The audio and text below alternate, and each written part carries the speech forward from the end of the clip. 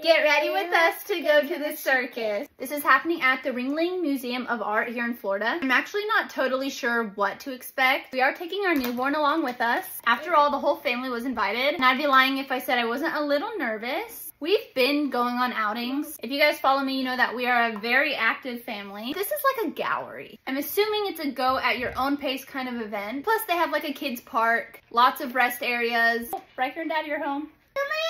How was your game? Did you get a home run? I, I hit them to the fence. Hello. We're gonna finish getting ready. We'll take you guys along with us.